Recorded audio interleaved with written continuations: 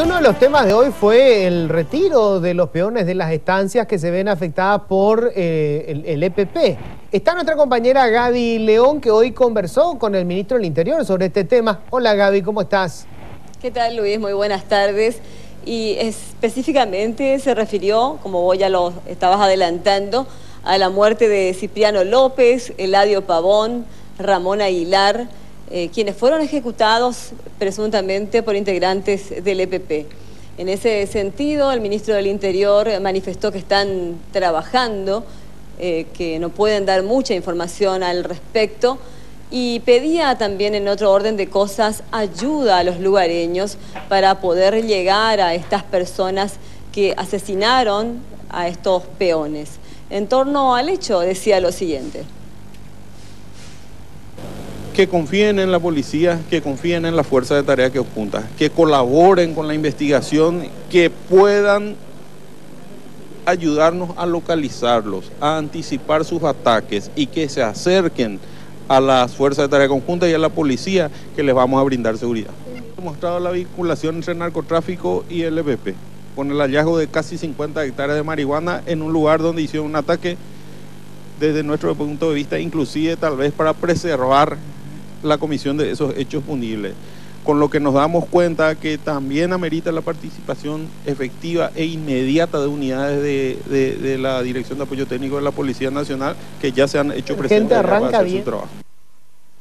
Bueno, eso es lo que manifestaba durante el acto que se llevaba a cabo en la Dirección de Apoyo Técnico de la Policía en relación al trabajo que realizaron los agentes policiales de esta dirección a cargo del comisario Críspulo Sotelo.